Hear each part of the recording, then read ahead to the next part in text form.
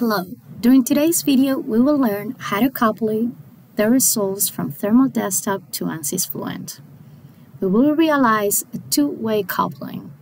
In Thermal Desktop in this case, we have a model of a tank that is getting filled with hot water from the bottom and being released from the top. In this model, we can simulate the natural convection between the tank of the wall and the ambient using a 1D correlation. In this case, a natural convection correlation from Thermal Desktop. If we want to get a more accurate result, we would need to get the heat transfer coefficient from ANSYS Fluent, where the environment around the tank would be simulated. To create a map, we need to go to Thermal System Coupling, and we have to create a new region, in this case called Coupling, that we will link to the surfaces where we want to create the map. In this case, the exterior wall of the tank. The type of interface is HT to T. This means that the heat transfer coefficient and the temperature of reference will be taken from Fluent, then Thermal will do the thermal analysis and will give as a result the temperatures in that surface. We save now the drawing and we can pass to the Fluent model. We will see here that in ANSYS Fluent we have created the region of the environment around the tank and the corresponding boundaries for this. For the wall of the tank, where we will create the mapping, we need to specify in the thermal conditions that these values will come from the system coupling solver.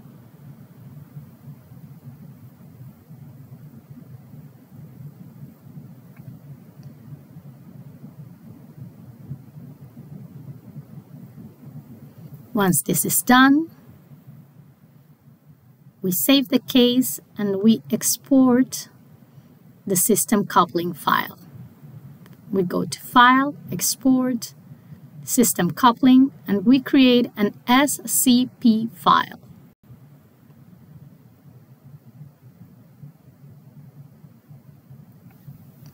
Now we can open the system coupling solver We have to select the folder where we will have both files, the one from Fluent and Thermal Desktop.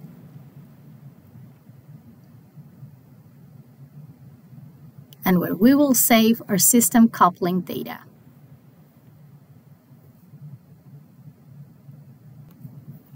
Once this is done, we have to add each participant to the system coupling solver.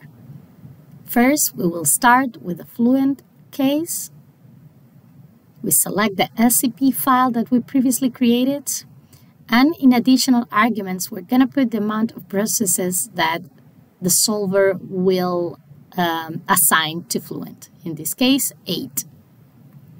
A second coupling participant, we will add the thermal desktop file.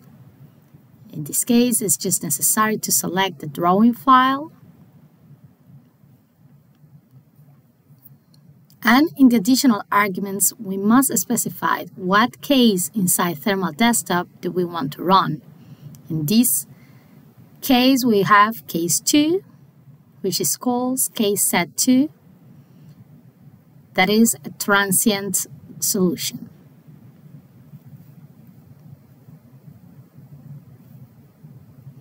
In Thermal Desktop, once we created this case set, we needed to add inside the logic the specification that the program is going to need to take the results from the solver coupling.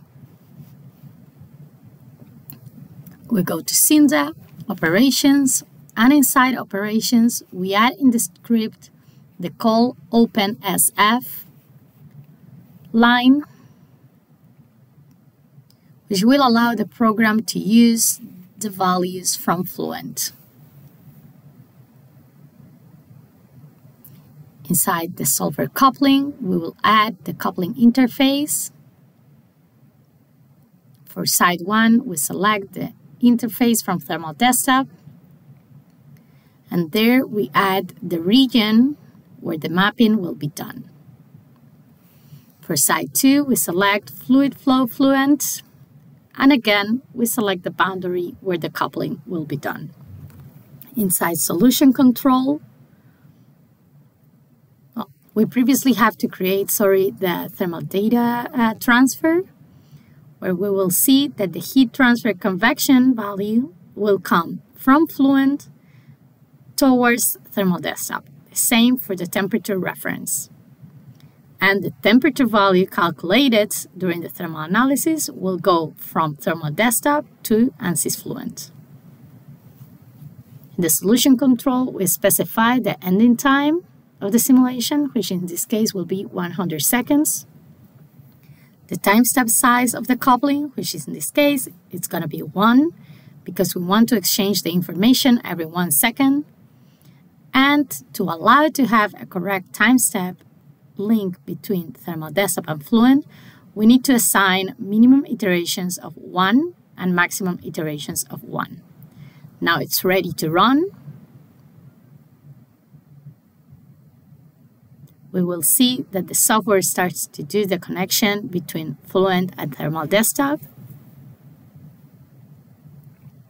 This will take a couple of minutes, so we will see how the final result will look like.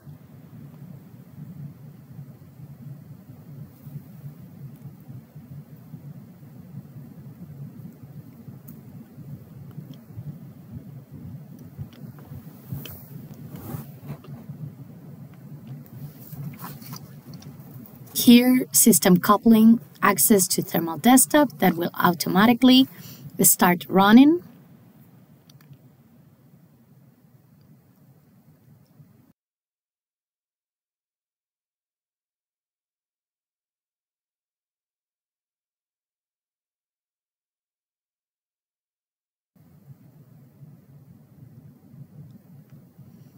And now some new windows are accessible inside system coupling.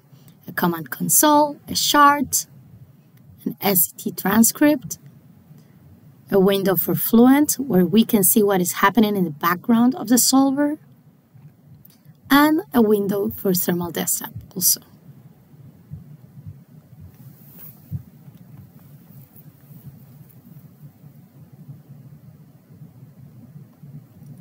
We can track the process, in the command console.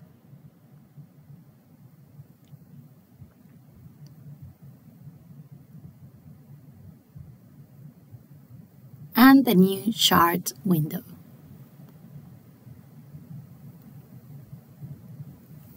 After some minutes, we can see that system coupling has finished successfully to run the simulation between Thermal Desktop and Fluent. We can check the results from Fluent. Here we have a contour of the static temperature, for example. Or also we can check the surface heat transfer values that were actually mapped from Fluent to Thermal Desktop.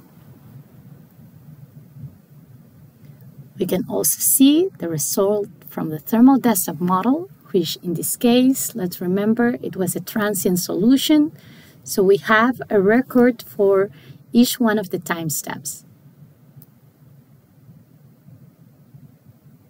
As part of the post-processing, we can even see a small animation from the beginning of the simulation till the end.